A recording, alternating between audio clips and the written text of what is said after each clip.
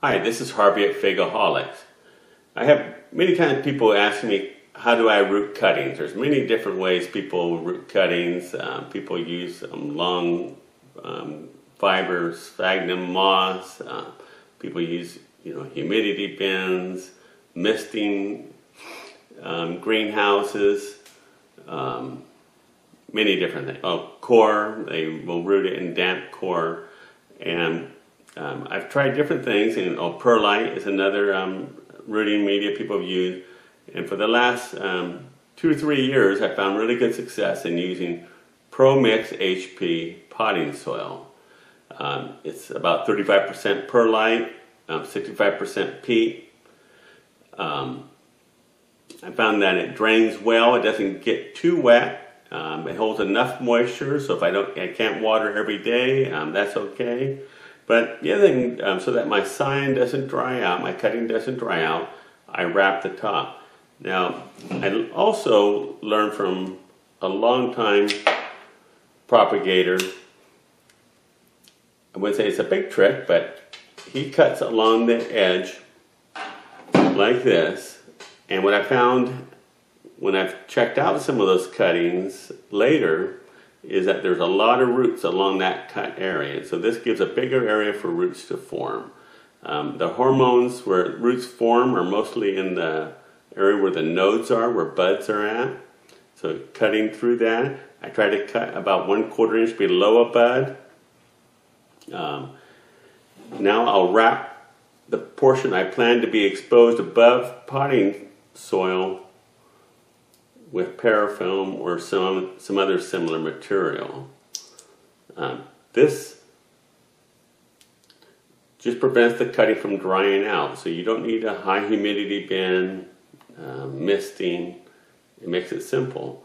You stretch it as you apply so that the bud, the tape is thinner and the buds can push through very easily.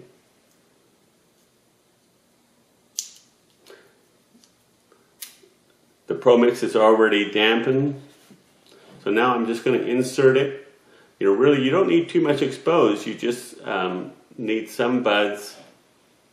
And I, the mo more you have down below, the better chance you have of having good moisture. Now, one thing, if you have a pot um, that is shallower and you push the pot, the, or the cutting rather, down close to the bottom, a lot of times that bottom portion of the pot is going to be wet and it's going to rot down there.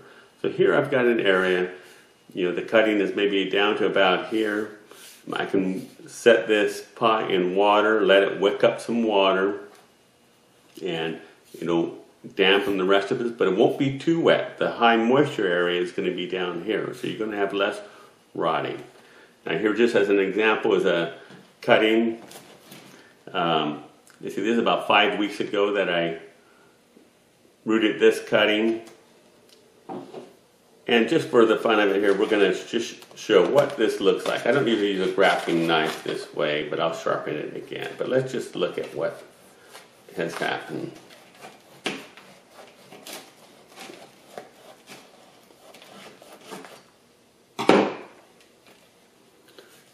So you can see roots are down here. Sometimes we'll see roots higher up here, but the roots are down low. I believe this was a pretty long cutting. I don't remember where the bottom of it is.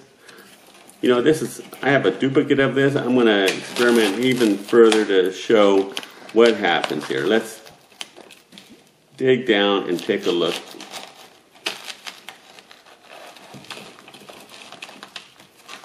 Yeah, so it was a long cutting, so this was down close to the bottom.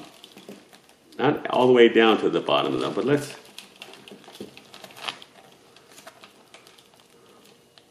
for the benefit of science here, I'm messing with the cutting quite a bit. Trying to see if I can see where I cut this cutting. I don't want to kill this cutting. I can't really see. It looks like here is where I cut, and so I do have roots coming up here more, but most of them came from the bottom. I had adequate rooting there. Here is a photograph of another cutting that better demonstrates the roots that grow along the side where I've made a cut. You can see this in five weeks this is rooted fairly well and um, I could have not disturbed it and already moved it into a larger pot, but I'll pot this up and let it recover. Thanks again for watching.